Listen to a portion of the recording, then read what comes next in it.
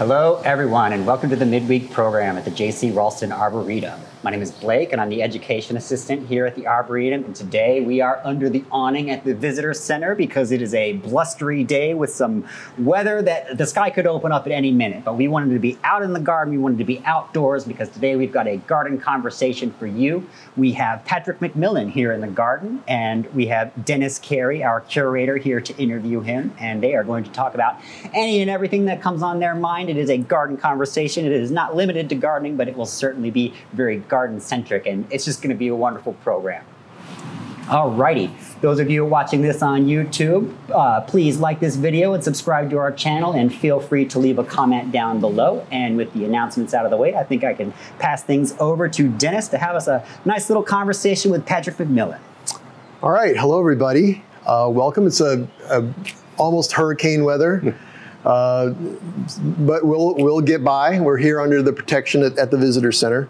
Um, before I get started talking with Patrick, um, I do. There's one other thing I do want to mention upcoming uh, that will make you want to sign up to be a member is um, one of our members only uh, benefits that we do is every year we uh, distribute free seeds. Um, we, we trade seeds amongst uh, other botanic garden. It's called our index seminum, and we always end up with leftover seeds which we then turn those around and offer those to our members via uh, our member version of an index seminum, uh, which we call the member seed distribution. Uh, so our members will be receiving an email very shortly, maybe early next week, maybe, um, with a uh, link to a, a, a catalog where you can check off uh, some seeds. It's always a big, it's one of our biggest member participation events. Um, and uh, hundreds and hundreds of our members uh, participate. And last year we had to pack over 3,000 packets of seeds uh, to satisfy all the orders. So uh, make sure you do that. That's that's real fun for everybody, uh, except for me because I got to pack all the seeds.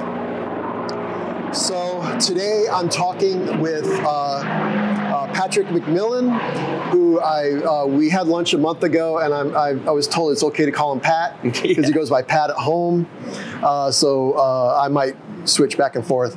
Uh, Patrick is uh, has currently is the is a horticulturist right. at the downtown Cary Park. And so if y'all any of y'all are from Cary or been to the park and have any questions about the downtown Cary Park, uh, go ahead and post them in the chat, and uh, Blake will read them out.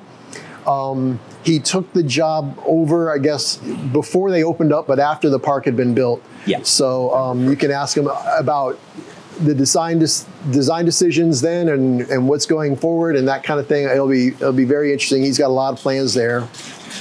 Um, before then, Patrick and I both worked at the same place, but not at the same time, Juniper Level Botanic Garden, and he was their director of gardens there.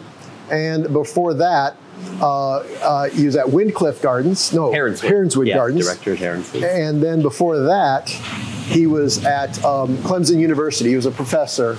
Um, and I, I, I am only going back that far because um, while at Clemson, he had a TV show uh, that was on PBS, and later on, we're going to talk a little bit about the TV show.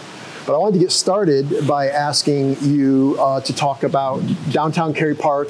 Sure. And your job there and what's going on with the park and yeah, that kind of thing. Yeah, so the park is, um, it's wonderful. It's, uh, if you haven't been to the downtown Cary Park, you should definitely check out the downtown Cary Park.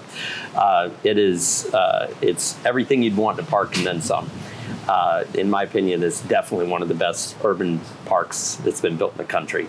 Um, the the park is a little over seven acres, but it has everything from skywalks to uh, you know playing fields. Uh, you can go out. You don't have to bring your own ping pong table and our ping pong balls and paddles. We've got them there.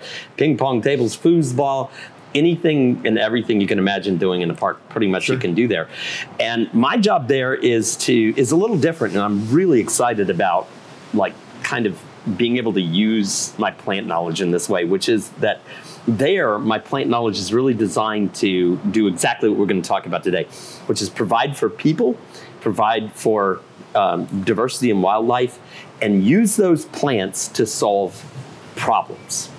And that, that's the part I really uh, like about the job is the opportunity it gives me to actually custom tailor plant selection to do what we want it to do for more than just oh it's a weird plant from you know Yunnan that nobody else has so we're going to grow it at J you know it's it's more than that. It's we we're planting plants that serve a purpose in the landscape um, and serve a function. Keep people where you want them to be um, direct them where you want them to go and hold the soil and hold the place together you know? Awesome. So it's fun. It's great, Yeah. and I'm really enjoying working there. Town of Cary is an, a wonderful place. And you've been working there for how long? Since November 1st, Since November. Okay, Yeah, so, just a few months. so I'm new to the new to the town and new to the park. Yep. But the park is also very, very new. It's Yeah, we just opened up uh, two weeks after I started. there. You go. Okay. yeah. So um, uh, uh, I wanted to. Uh, Patrick and I had lunch about a month ago where we talked about talking points, and our hour, hour and a half conversation wove in and out. And I have some talking points I want to bring up. So we're, we're going to jump around on subject, and of course, y'all are free to put a question in the chat, and uh, that'll serve as a jumping off point for other conversations. But the first thing I want to talk about, other than the uh, downtown Cary Park, is um, Patrick is known f- uh, for a couple of, I, I guess you call these mantras or sayings, um, Yeah. planting for diversity Yeah. Garden and for life. natural Yep. community gardening. Right. Natural community garden. Uh, so I, I would like you to go ahead and talk a little bit about those subjects because uh, m- most of our audience are home gardeners, Sure. and that's why they're watching our Absolutely. program. Yeah, and you know, um, I guess maybe I'll circle all the way around to the end of most of my presentations and bring it to the forefront, um, which is that it doesn't matter whether you're, you know, you have a balcony in Brooklyn or you have 90 acres in, you know, Edgecombe County. I, it, it doesn't matter. Your choices in what we decide that we're going to do in our little personal space um, have a huge impact on the world around us.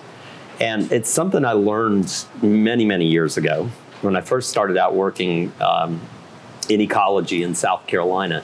And I learned the lesson really poignantly because I was I was working with a guy named Dr. Richard Porcher, and, and Rayner, and myself um, just completed a book on the wildflowers of South Carolina. It just came out last year, um, and it, Richard and I, Richard started taking me out to um, these things called shell mounds, shell mounds, and what they are these fantastic piles of shell. They're essentially garbage, but because these piles of shell that were put on our, on the coastlines of South Carolina were put there so long ago, we're talking like late archaic period. So one of the largest is 5,200 years ago. People piled up oyster shells. And the fact they piled up oyster shells on these acidic sands created a high calcium environment in a very acidic sea around it, uh, if you will, a sea of acidic soils with a little calcium, high calcium community.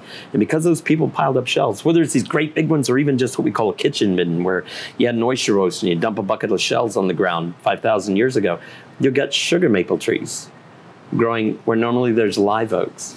And to me, when I saw that, I was immediately stricken with like, holy cow, you throw down a shell, you change the world. What in the world are we doing at home?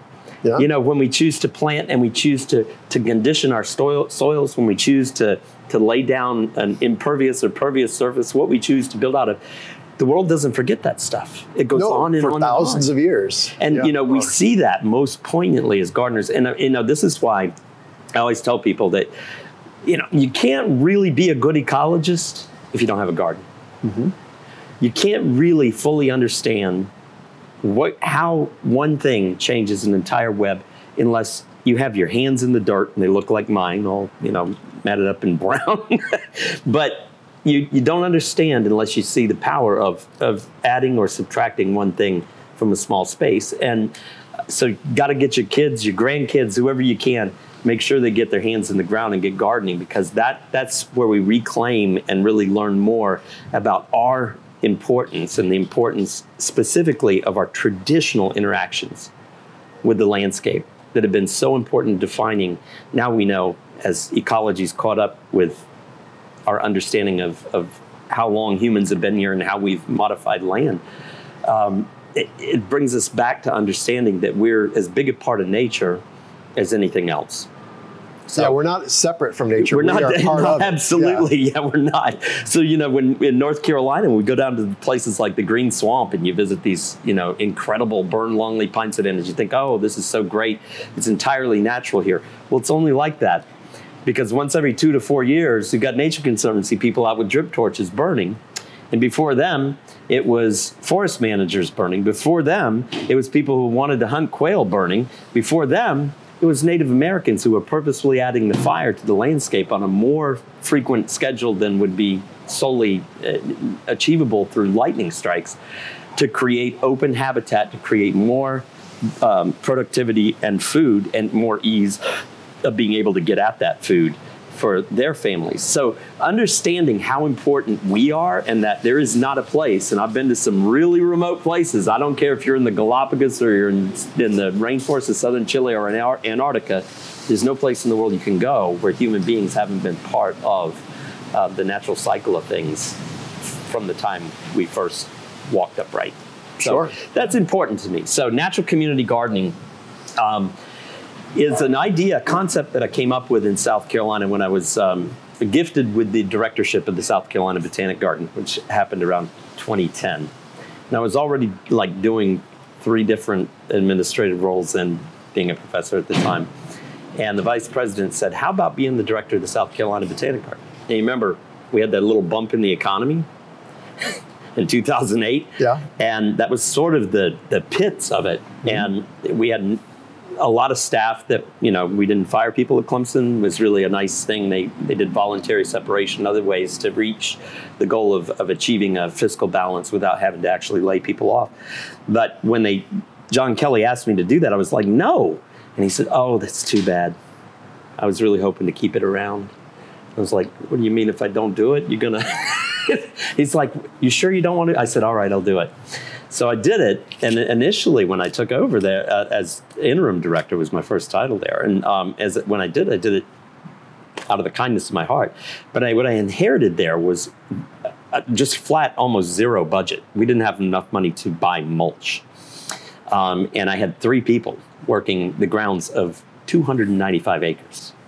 Okay, so I don't know how big the, the, the park's only seven acres, and I can't imagine doing it Yeah. With three people. Yeah, no, for sure. Um, and so we had to come up with an idea that would would start to give us some uh, visibility, attract people to want to be part of what we were doing. And I, somebody told me one time I was doing a, a presentation down in Charleston for the Charleston Garden Club right after I became director. Before the first Christmas, I was director in October. Before the first Christmas, I'm down there, and and it, this garden club gal, she told me, she said, "You know what the problem with the South Carolina Botanic Garden was?" And I said, "I know a list of them, but go ahead." She said, "Doesn't represent South Carolina." What she was thinking of was we didn't have the climate to be like Charleston, right?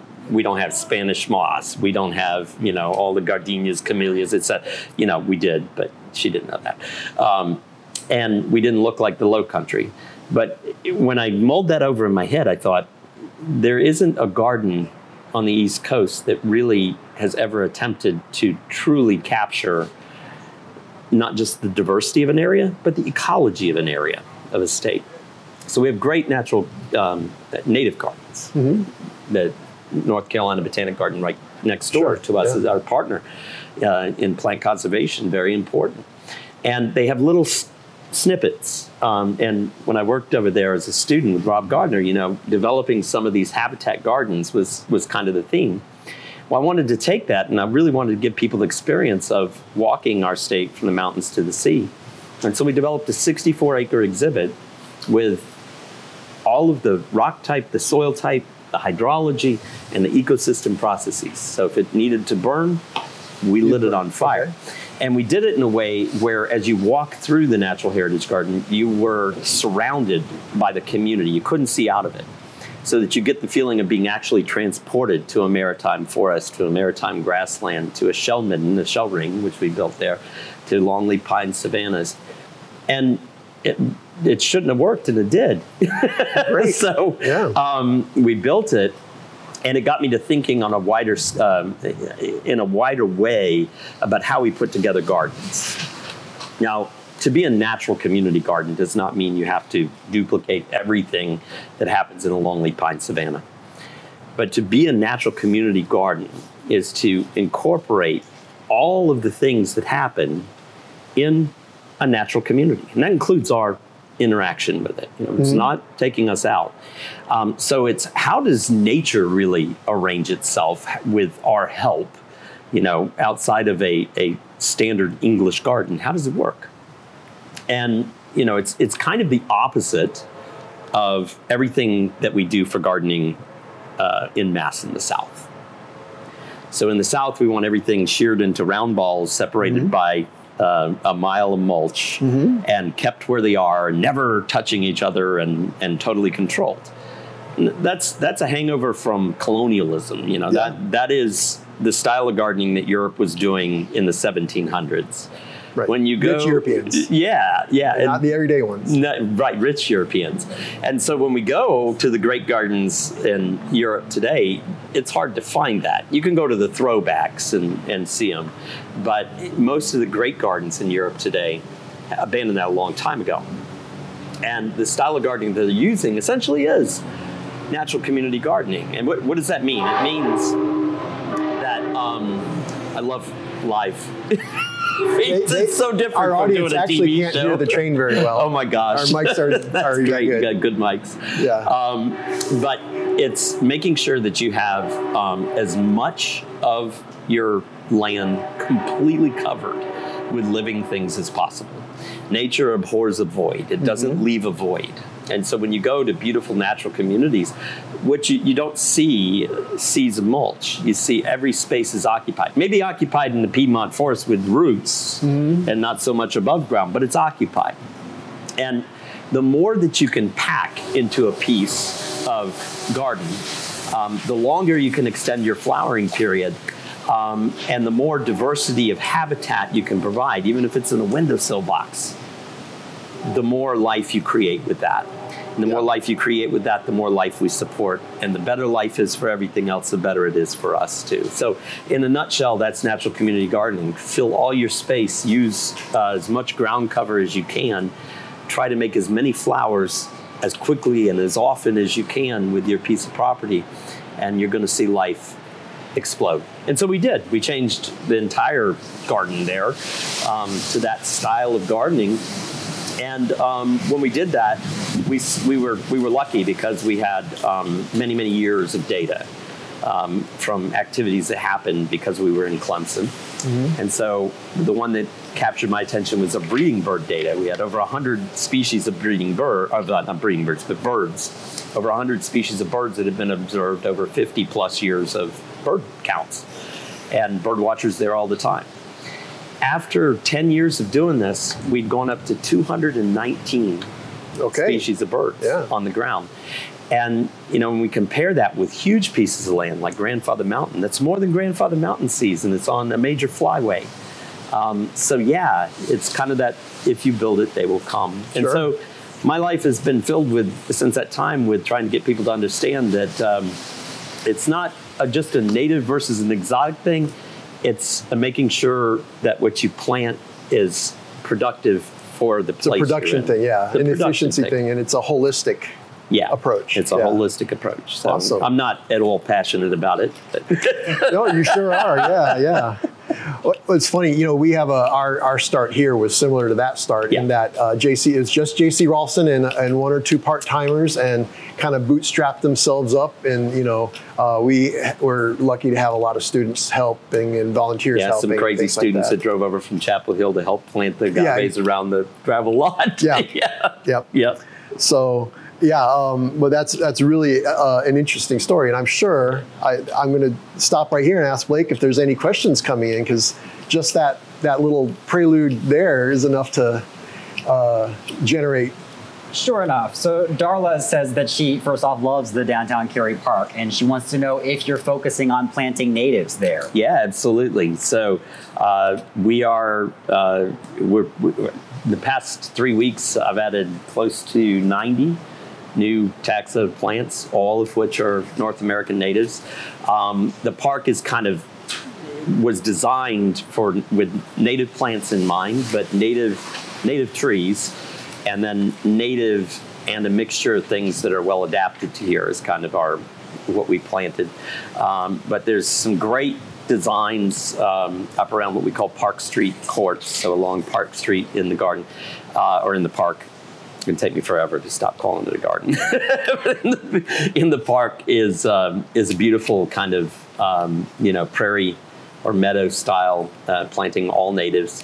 Um, and then the botanic garden sector, which is still kind of under, that's the only part that's not 100% completed in the in the garden, the initial design, uh, is also dedicated to that. So roughly half the park is strictly natives, and we're filling the rest of the park with as many natives as we can get in there. But in a lot of places, and a lot of a lot of times, you'll find situations in an urban park where they're it's difficult Oh yeah. To put a native that can stand to have 3,000 children walk on it every single day. Sure, and pollution, you know, car yeah. exhaust and yeah. things like that, yeah. and road salt. So that, that's yeah. the part I really enjoy is that sure. we're using plants um, to solve and problems and to work with people, not not fight against. Can you give us a teaser of a few of the um, native taxa? I think our oh, yeah. listener would so want to we, know some names. So one of the big things uh, that I'm trying to do after, you know, when you open a, a site like that, you have sort of the, you have the, the bones of the land, landscape put in.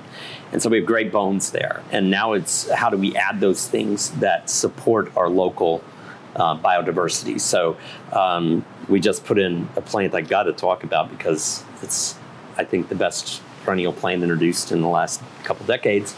But like uh, narrow leaf milkweed, um, a selection called Sonoita. Sonoita. Yes. Is that with an S or a C? S O N O I T A, and um, one of the best sellers at at uh, Plant Delights Nursery.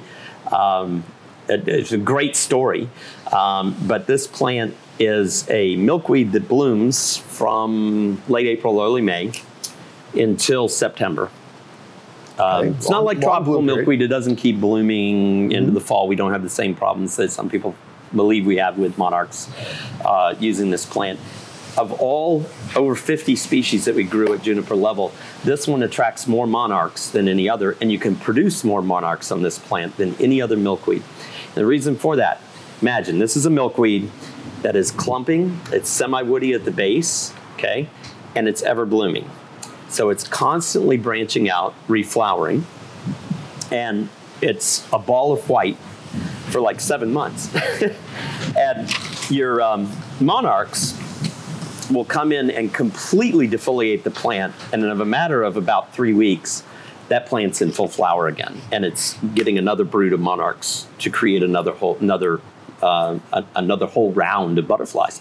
And so uh, that's just one of many, many plants, and, and really focusing on getting those things in that provide us the greatest amount of support, uh, life support for our, our local biodiversity, for birds, for bees, for beetles, for wasps, for all the mm-hmm. things that, that we depend on. And Sonoita is great. That that is what we that is not a North Carolina native.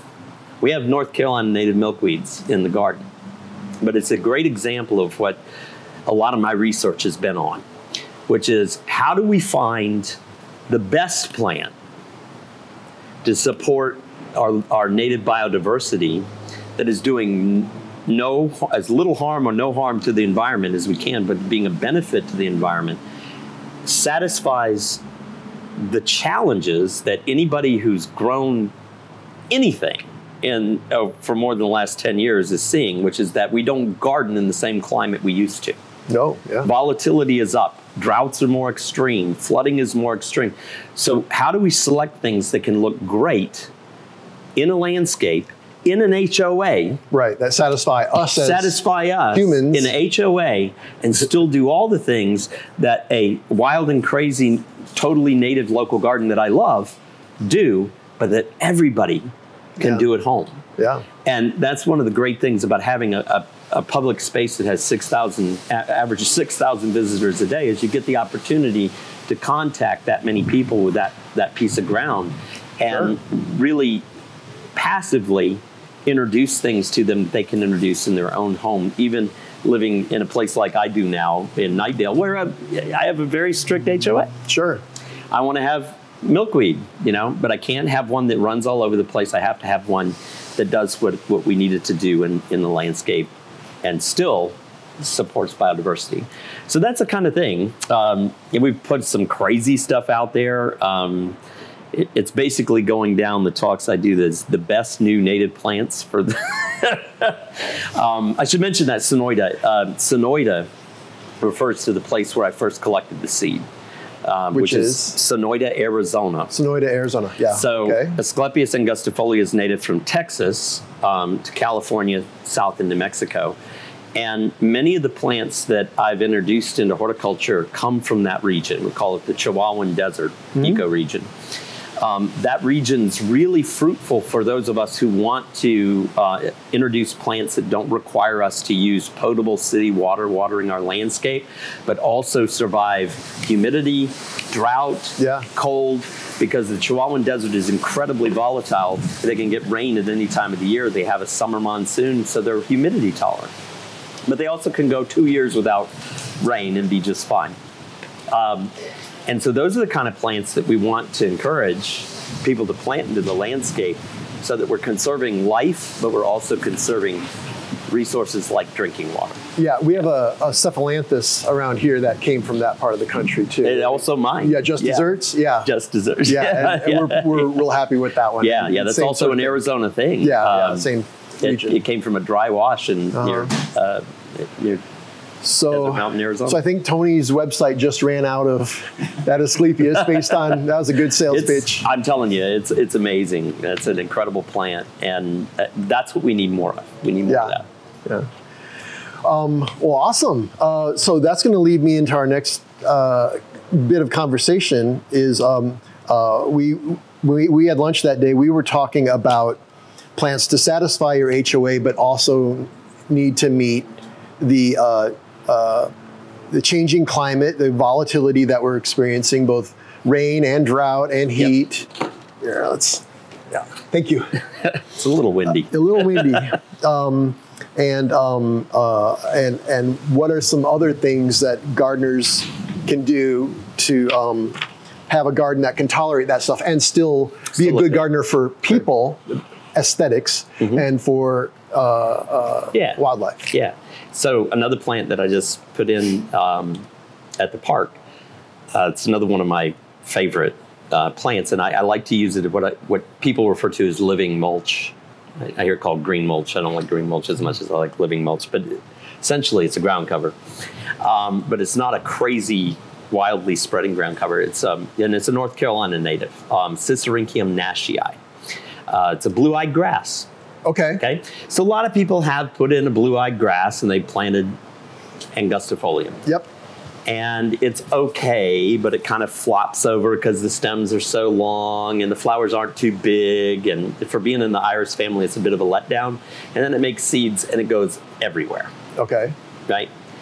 Um, there's a selection from Suwannee, uh, the Suwannee River, called Suwannee, from the Suwannee River in North Florida, of a North Carolina native species, uh, Sisyrinchium nashii suwannee. You're starting to see it for sale all over the place, but it's a, it's another plant delights uh, introduction.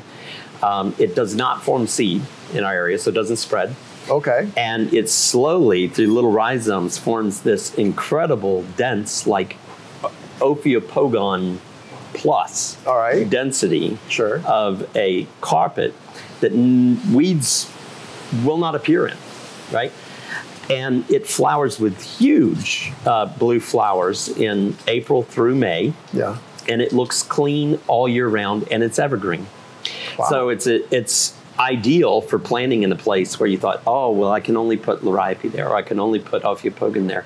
You can also put Sisyrinchium And you get- nashii suwannee, And that has nicer flowers than and it has Oripe and big, beautiful flowers Yeah. on it, and supports uh, lots of pollinators with that flower too. Yeah. And that's another thing. A lot of people want to reduce the amount of weeding they do. Yeah. Mark gave a wonderful talk at a, a conference or symposium we were at, I guess a week before last, called the Lazy Gardener talk. I loved that talk. He did a great job with it.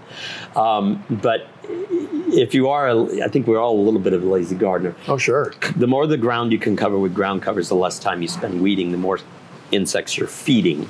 Yeah. Right? Less time weeding, more insects you're feeding. It's it's a slogan.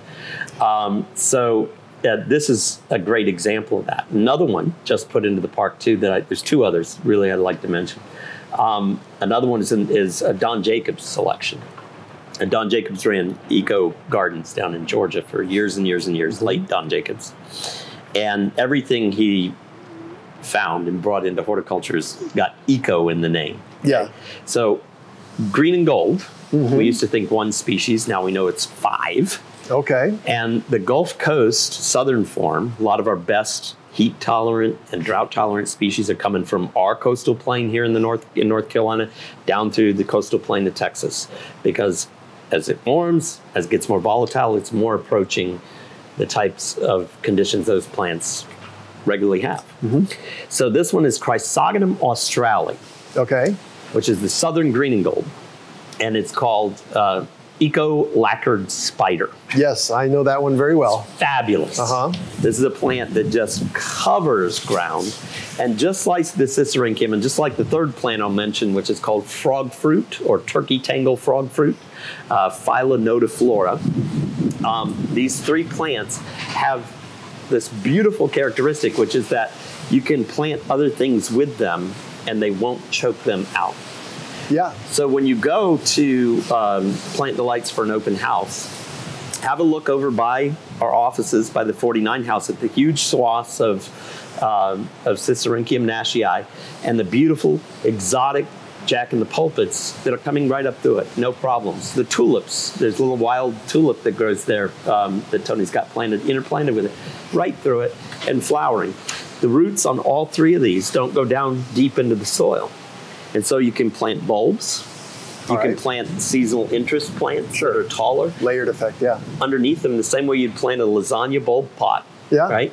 And so instead of just one thing occupying the space, you've got two, three, or four things occupying that space. That means you're feeding two, three, four times as much in the environment with the same space. Yeah, that green and gold. I remember from when I was working there. Oh, yeah. Uh, um, I was working in the greenhouses there, and it would just root into every neighboring pot. Yeah. And it, it wanted to spread and root and spread and root. It's a great Yeah. ground cover. Yeah. Uh, with little yellow flowers and and you know it, Yeah. it, it was just amazing. We would have to, um, in order to pick one pot out for a delivery, we'd have to literally cut uh, all the stems from the border of the pot and just cut it out and then deliver it. Yeah, it's a very good ground cover. So, and, and the, the frog fruit um, is another one of those plants which I'm getting ready to install at the park. It's one of those problem solvers. Frog fruit, if you're not familiar with it, it's it, most it's a native plant, but it's native. It's one of these plants that's native to the world. So it's found on every continent except our, Antarctica. And this plant in North Carolina, we're used to seeing it when you go to the beach. So when you go to the beach, you park in the parking lot, little sandy parking lot down at Topsail, and you get out of the car and you're walking across, and there's this little stomped on flat ground cover it has these little stems that come up with these pale lavender flowers on them, like a tiny lantana. Okay. And you would never look at this and say, here's a plant that would make a fabulous garden plant. But in fact, when I brought it into the South Carolina Botanic Garden, I planted it in an area it shouldn't really grow. Right. It was kind of dry clay soil and never got irrigation. Thought I'll never grow here because it likes in nature either it's growing in a wet ditch with it flooded most of the time, or in areas near the beach where it does have underwater groundish sources of, of moisture.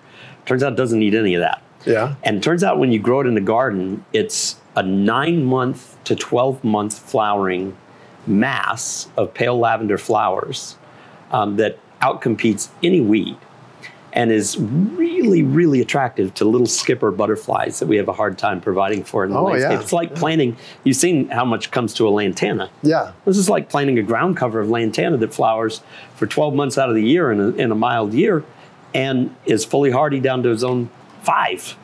so it's it's unbelievable. It hasn't been used, and we're now using it to firm up um, those nasty clay banks after building a home, and nobody can ever get anything to live on it because nobody wants to invest in soil. Right. I think plants can grow without soil. Um, well, this is a plant that, that actually can stabilize banks like that. As a rain garden plant, it can tolerate submersion for 12 months and be just beautiful. Okay. Um, it can tolerate going without water and our worst drought year in South Carolina, I think, was uh, 2013. No problem, still flowered nine months out of the year um, with this plant. So that's the kind of thing that we really get excited, that I get Sure, excited yeah, about, and I hope a lot of people get excited about. And they're not all from far off exotic places. We find some things that are just we see every day, but we don't realize what they look like once you put them into cultivation, remove competition, and let them be all, all that they, can be. Yeah. yeah. Yeah. We're gonna we're definitely I can sense that maybe a lot of our listeners are like, what did what plant did he just say? How do you spell that? So I, after the show, I'm gonna Sure. get the names from you. We'll write them. We'll put them in the comments on the YouTube video, uh, and so that y'all can have them because I. I man the chat on a lot of these uh, talks, and that's the number one question: is what did he just say, and how do you spell it? Right. Yeah, I love that. We'll get that. We'll get all that I love stuff that worked out the for you deep guys. south name for the frog fruit is turkey tangle frog fruit. Turkey tangle frog fruit. I love that. and I'm, I'm sure there's stories for both of those, turkey tangle and frog I'm fruit, right? sure, yeah. So, well, that's really cool. Um, so, any questions from the audience? Sure. About- uh, Judy was the the Asclepias you mentioned. She wanted to know if it was like susceptible to aphids or anything like that. So every milkweed that's ever existed on planet Earth is susceptible to aphids. um, so yeah, will it get aphids? It will. Um, the great thing about this one, and one of the reasons why I really like it, is that um, rather than getting the aphids and then the plant just declining, it tends to grow so well uh, here where we have rain because it's from a, a near desert environment. Um, where we have abundant rain and, and a perfect climate for it, it outgrows the aphids. So um, you can have aphids there and still have milkweed. Um, Awesome. Which isn't the case with a lot of the Yeah, no. slower growing, non ever blooming species. Yeah. Excellent. Um, any other questions? Well, so Tony wanted to know with like the tree species you're choosing for the dog park in downtown Cary Park. Sure. Like, how do you choose plants uh, that like can tolerate the urine or Yeah. plants that you Yeah. need to protect somehow? So, um, yeah, I, I wasn't involved in the uh, plant choice for the dog park, but the dog park is very, very simple um, design because it, it's a small space and it's very heavily trafficked. So essentially, um, the tree species that are there are oaks. Uh, and trees that existed on the site. So we, we kept as, as many trees as possible during the, the construction of the site. So we have a lot of legacy trees. Very large site. ones. Very large. Well, mo- yeah, there's some huge. Yeah. One of the biggest willow oaks you'll ever see is there. Um, but those trees are well established. The dog urine there, probably not an issue for Drop in the bucket. And then um, we chose uh, Morella pumila, which Mm-hmm. is um, dwarf wax myrtle.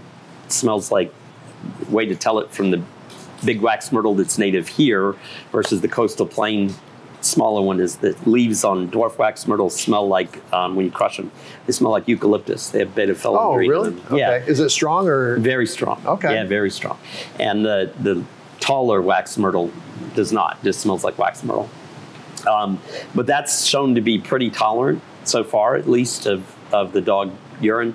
And they did a fabulous job of choosing things that, if they're broken uh, stems, because you get great 70 pound Yeah. dogs running through the garden, you're going to have broken stems, and the kids too. And um, with that morella, it, it's constantly suckering so that broken limbs, broken stems are very quickly replaced with a, uh, a very consistent foot and a half to two foot tall plant at maturity. So, um, single year to get your stem that high, and then you just branch out slowly from there. So, that's what's there at the moment. And a little sterile spirea hybrid that I haven't seen with leaves on it yet because I've only been there since Three months, yeah. Yeah, but that's pretty much what's there. All of our, our tree selections for the park, um, canopy trees, are all natives, which which is important to have the majority of your canopy be native because that's that's why our songbirds fly all the way back from Central and South America to breed here is because of the numbers of, of creeping little caterpillars, geometric caterpillars Sure. that depend on our native trees. Good. So Linda wanted to know if the Cary Park would post a list of their flowers, shrubs, and trees that Yes, yes, we will. And uh, we've, I just finished compiling the list of what actually went in the ground and what what we just added. So we're working on the website design to release that. So keep googling Next it, couple weeks. or set up a Google yeah. alert for yeah, uh, yeah, absolutely. plant list from downtown um, Cary Park. Yeah, it's pretty. It's it's getting more impressive by the week. Sure, and, and every new garden goes through an entry phase, and then Yeah. it's going to evolve quickly, and then it's going to mature, and and you Yeah. know, yeah. Be awesome. And you're in that early phase, so you get to try all kinds of stuff. Yeah. Okay, uh, so y'all may have noticed that Patrick speaks pretty easily on TV. Uh, I just wanted to bring up a little bit thing from his past. Um, he had a TV show uh, in South Carolina. It ran for how many seasons? How many episodes? We filmed for 15 years 15 years. and 99 episodes. I think is what we got up to. so there's 15 seasons. no, there's not 15 seasons. We filmed for 15 years, but I think we released um, 10 seasons overall Okay. over the 15 years. So uh, we were on. We started out with South Carolina Education Educational Television, which uh, is our PBS Mm-hmm. network in South Carolina, and then um, produced seasons through that were distributed to NETA, and then finally through American Public Television through APT, which is still the way that the program is is still being shown all over the country. Yeah. Oh, good. I um, so yeah, I wanted to mention it because uh, it is i googled the show and uh, ended up at the South Carolina PBS website, and uh, most of the episodes are behind a paywall, but you can watch season one of epi- uh, no, episode one of seasons one, two, three, and four Yeah, on it uh, for on APT season free 22. on the web. Yep, and you can buy them on Amazon Prime. Yeah, and you can buy them, yeah. or you can get Yeah. a uh, Oh, if donate to PBS and get a passport. If you're a and PBS stuff. member, then you have a passport, and they're all they're all available. yeah, they're all available if you have a passport. Yeah, So that was a great. show. That was great fun. That was a lot of work doing that show. I can imagine. Yeah, fun. yeah, and uh, Um, the, the bits I've seen, they looked really interesting. You know, you talked. Uh, there was talking about Sarracenias and talking about little. You up in the uh, snowy mountains, talking about little. Sun, Oh, yeah, we sun went- drops or something. We went Yeah. from pole to pole. Yeah. Um, oh, it was just o- over the in whole world. in the new world. New so world, it was okay. they were all based in North and South America, North, South, Central America, Very interesting. Caribbean. Um, but the the thing I liked about it was, unlike a show that just takes you out to, ooh, we're going to talk about crocodiles. uh, We tried to make each show um, themed towards exactly same thing comes out of my mouth every time I talk to anybody, which is, you know, you're important in the world. We're connected. This is how things work and how people fit in. And to get you really to know the place where we were at, how does it function? And what, what role do people play in that? And so, you know, it's the kind of show where you can go off, whisk off to a rainforest and spend half the program talking about plants instead of just pythons. you Yeah. know? Yeah. Um, so it, but the show was it was it was plants for all you plant nerds, but it was also birds and it, it was all kinds was of uh, wildlife. yeah, yeah. So uh, a lot of them were themed on um, on wildlife, but you can't theme a show on wildlife and not talk about plants. That Oh, no, for the sure. basis of the Yeah, yeah. wildlife system. Yeah. and so I was able to bring my passion for botany to play throughout every and, and it really shows. The one I saw that really tickled my fancy was you were you were looking at um, the pitcher plant, uh, Sarracenia rosea, Oh yeah, and uh, you were you pointed the camera down into the pitcher where the liquid was and the dissolving bugs were, and then you were talking about the uh, biochemistry of the Yeah. of the liquid, all the enzymes that are in it that are causing the plant bugs to esterase, dissolve. amylase, and Exactly. protease. Yeah. Exactly. Yeah. yeah. And uh, yeah, anyone who's had you know college biology, is like, ah, I know what those are. Yeah, that was really that was really uh, Yeah. an interesting show, It- real it- nerdy show. It was. It's a very nerdy show, yeah, and um, that was the thing that everybody thought wouldn't work about doing it was that it was a little too. Um, I did. We didn't want to just make it entertainment. We wanted education to be entertaining, which is kind of the idea with PBS. And yeah, yeah, it's perfect Um, for PBS. It's a perfect show. yeah, it's not and too so nerdy. it was great because we didn't have to really take things to a level where you did you couldn't get something deep about or as specific as you wanted Yeah. about each one of the programs. So check it out. Uh, it's very interesting. If you have a passport, even better. Uh, PBS passport. Yeah, PBS Uh, passport. Join your so- local PBS. Yeah, yeah, sure. Support them. Um, okay, and you also have a book which is pretty recent in the last couple Yeah. years, October 22. and uh, it's about plants of South Carolina, but it, there's a lot of overlap, right? Oh, so yeah. if you live in North Carolina, it'd be a great book to check out as well. Absolutely. So it's a, it's Guide to the Wildflowers of South Carolina. It's McMillan, Porcher, Rayner, and White. Mm-hmm. Um, my photographer and videographer David White from the TV show helped to do all of the um, image Sure, fixing capture. up and, yeah, and you name it. Um, but yeah, it's way more than just a wildflower book. It's um, it's very deep into um, ecology, understanding even how to introduce plants like this into your garden and what they'll Sure. do for, for your garden. Um, and it's it's a lot of information on each plant. So the book is not a little.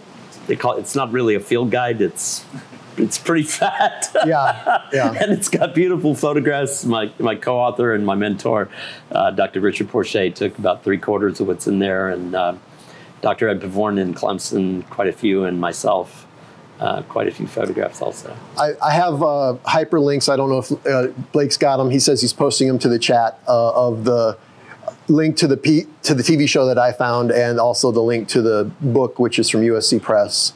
Uh, so it takes you to the USC Press site. Although you can probably get it anywhere. Yeah, Amazon. Yeah, for sure. anywhere.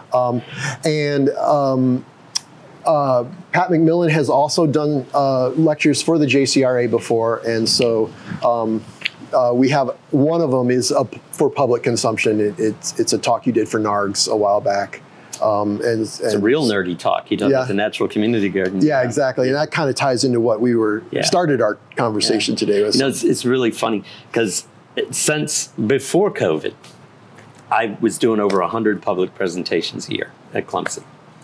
Uh, when COVID came in, I decided I'd had kind of enough administration and That's a lot of over PowerPoints. administration. I, I I was a director of four things and Yeah. a professor and everything. So uh, when COVID came, my favorite part about about being at the university was teaching, and with remote teaching, I was just like, nah. Yeah, And I, I- did it for two semesters, and um, the second semester I did half of that semester from Washington State.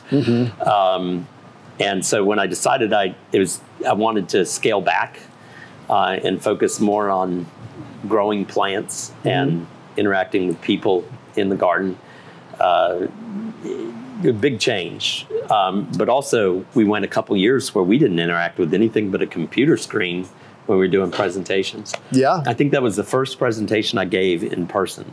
Yeah. was the NARGS thing after after COVID, and it took all the way up until two two weeks ago for me to feel like I was back to being able to channel energy to transfer out to the audience to Okay. to give a good presentation. yeah. Um, it took a long time. Well, you were at uh, South, Southeastern Plant Symposium uh, put Yeah. on by JLBG and JCR. Was that last year or the year before? I year don't before. Yeah. and I had COVID. yeah, it was, it was a good So talk, though. It was a good talk. yeah. Uh, but yeah, um, I've seen you speak publicly. You're, they're all very interesting. oh, well, thank you. Um, okay, so uh, um, I'm going to change gears unless Blake has a question from the audience he wants to. Well, I, I did have, there's kind of two questions that I kind of wanted to see. Sandy had a question about mammal pressure, deer and rabbits at the downtown Cary Park. But then, kind of going off of that, Tony had another one. She said that rumor has it that you had to replace a thousand plants following the overwhelming response to opening days and months and crowd trampling. Is, is that true? No, No. um, no, we haven't really. Um, I mean, obviously, you know, it, it, when when you plant any landscape, you plant it and then you have to see where people are going to use. You can't really, you know, design perfect ever, and so there's certain areas where we're changing because people are kind of forcing that change, um, and that's totally natural for a park. But um, we we've had areas where plants have obviously gotten a lot of overuse, um, but we haven't really replaced anything in the park yet. Um, so we we probably won't start um, rearranging and reimagining spaces for a little while yet. But yeah. Yeah. Okay, but so And what, was the about other- the, the, the deer and rabbit pressure? Oh, deer and rabbit. We have no deer pressure whatsoever. kidding. Zero. It's all the dog urine keeps the deer away. Yeah, yeah. Um, no dog pressure, and I've we have one rabbit uh, that stays all the way on the edge of the property by Park Street and chews away at uh, Deschampsia cespitosa, which is a plant. I don't know if it'll be a long termer here anyway, but really no rabbit issue either. So I think that I think you're right. There's a lot of dogs. Like people really enjoy the park and really enjoy having dogs in the park, and I think that's that's probably a, a good thing when it comes to Sure. deer and rabbit pressure. Yeah. Integrated pest management. Yeah, There you go. There you go, yeah. Yeah.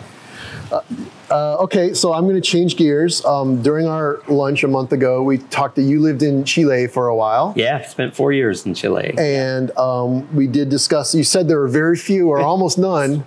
Are there any Chilean plants? Not really. Not really. Not really. Tony grows one plant from central Chile. I can't even bring the name up in my head right now. But um, yeah, the Ch- it's it's interesting because that was a place where, you know, when I worked at Heronswood in in Washington State, uh, while I was there, we actually designed a um, a Valdivian rainforest garden, which was great because the first time I was ever able to bring my love of Chile and Chilean plants into a, a garden space because that's perfect there. But it's the exact opposite kind of place from what we're talking about because Chile has a maritime climate or maritime Mediterranean, depending on where you're at, or subantarctic if you're all the way down in, in the Cape Horn. Um, and that means it, it's like Scotland. Okay. Yeah, it it's never it's never hot. Um, it's never frigid, and it's moist continuously. Okay. so, absolutely not drought tolerant plants in South Chile. Absolutely not heat tolerant plants in Chile. They die immediately upon encountering humidity at all because it, it's one of those weird places where it rains a lot, but it's also not stifling heat and it doesn't have the humidity problems that we have. Kind of So- makes me want to move there. it's an incredible place. Um, one of the things that really it, it shocked a lot of people. I used to like to tell it as like a tale. People, I, I was, I got to to work in Chile. I was doing. Um, we had a a, um, person who was a, a, a big benefactor to Clemson, uh, who had developed a uh, eco resort down in the 10th region of Chile, and this wonderful place called Hacienda Parga. And they invited me to go down, and so I went down with a group of you know folks from the university to just check this place out. And I went down. I did not know. I knew two plants in all of, of the Valdivian rainforest, and one of them was uh, plantain weed. Okay. And the other was pampas grass.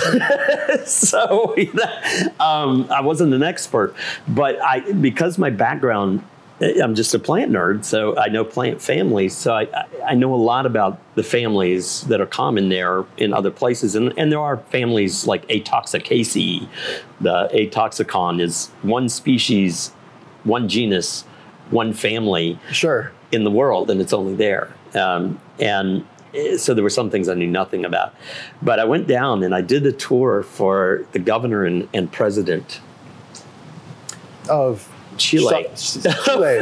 of their own Region, plants. Yes, Okay. of their own place. But the guy said, "Oh, can you give them a tour?" Because I'd taken the, our group along through the rainforest, and at the end, uh, Patricio Vallespín, who was the governor of the 10th region, he, he, he says, "Look, um, we've got, we really want you to do." Uh, surveys down here, and of course, the guy that I was down there visiting, he's like, "You got to come back and do surveys." So I made my way back to Chile to do these um, these surveys of these properties and, and baseline inventories of everything, plants and all biodiversity. Um, and so I had to learn all the plants. And I started learning them on the plane flight to Chile the next time. Okay. By the time I got to the ground, I had all 464 easily learned. Is there a Four Dummies book for Chile plants that you had? on No, you have to pull it from all Yeah. kinds of resources, not Okay. just one guide to the book to the plants of Chile. But you know, I tell people that and they're like, "Oh my, how could you learn 464?" At the time, I'm living in in Pickens County, South Carolina. We had close to 2,000 species of plants in Pickens County. We have over 2,000 species in Berkeley County, South Carolina.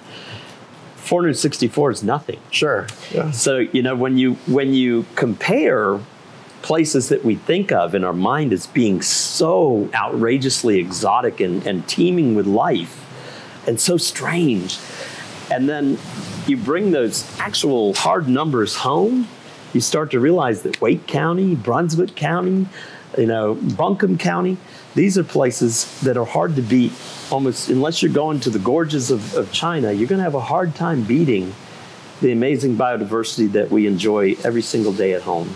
Yeah. Yeah. So we live in a great place and we can grow great plants. Um, to grow We do, yeah. yeah. I like to I like to hike on the weekends, and I, I love just seeing the little wildflowers all over the place Yeah. on all the different trails around here. It's really great. Yeah. Yeah, absolutely. How are we doing on time, Blake? We are out of time. We are out of time. Oh, I just had one more thing, but that's Go okay. for it. No, do it. All do right. it. So at our lunch, he he says, "Do you want to know how to predict the next super cold spell uh, that's going to come to North Carolina?" And then he uh, so take it from there. How do you predict the next cold spell we're going to get? So I'm a nerd, and uh, so I I look at a lot of different things. And if you're a botanic garden director, you're looking at everything. Particularly if you're like in South Carolina, growing Zone Nine plants in the Zone Eight. Uh, So you're always worried about the cold. And I'm also very interested in climate changes and volatility and things like that. So I actually have. This is this works. so It's anecdotal. it's is it anecdotal, but it's actually it's anecdotal. I'm not a climatologist, okay, but it does work. Um, and it, one of the things that works is if you go, there's a site called the NSIDC Sea Ice Index. Okay, Blake has the link. He's Okay. posting it to the chat. I love to look at this site. It shows you um, the satellite views of how much sea ice is in the Arctic. And in years when the Bering Sea, which is that chunk of Arctic Ocean that's just off of Barrow, Alaska, just off or Utqiagvik or whatever it's called, it's got a it- It's they got a new name, yeah. I, and I'm, I apologize, I don't know the name, and I'm not No, no, meaning it- I'm not meaning that to be any cultural thing, but they changed it to a, a Nupiaq name, and I just don't speak in Nupiaq, Right, and I, yeah. I very much appreciate It's a very that it's no longer The city formerly known as the Barrow. city, yeah, the city formerly known as Barrow. Um, but the Bering Sea, when the sea ice doesn't lock up to the shore by the first or second week in December, um, we're far more prone to get Alberta clippers that reach down into North Carolina and South Carolina. And one of the reasons for this is because water is a great insulator. And it also has a latent heat of evaporation and a little bubble of warmer air that forms over the water. So polar vortices, and we used to call these Alberta clippers, now they call them polar vortex. It's better for the right? And news, they name yeah. the storms so that everybody's just frightened of them. but when you get the polar vortex, the jet stream bends down, uh, land, air over land can settle, cold air can settle over land far better than it can settle over water. So until the sea ice locks up, you're, it, it appears to me we're much more at risk for uh, cold air dropping down. But the real key is to go and look on your weather app and look up the city formerly known as Barrow. which uh, Blake has the link for. Right. And if you see the, the temperature in, I'll try, I'm going to try to get it right. It's Utqiagvik. Utqiagvik, UT, and a bunch of other letters. Utqiagvik. It's got, a, today it's uh, negative 20 Fahrenheit in Utqiagvik. So that's a good March or February temperature. Yep. Yeah. And when For you us. when you see the weather there at the very top of the world start to rise up close to the freezing point during December, January, early February, 5 to 7 days we will have an absolute later we will have an absolutely horrendous cold snap. So when it's warm there, relatively speaking, it gets really cold here almost a week later. It tells you without having to go look at the map where the bubble of warm air is forcing the polar vortex down into the into the United States. so y'all should look at this so you know when to cover your hostas. For Uh, real, it works. It worked. It's worked every single time. Even um, our last really cold spell we had this year, and uh, only cold spell wasn't really that cold that we had this year, down to 19,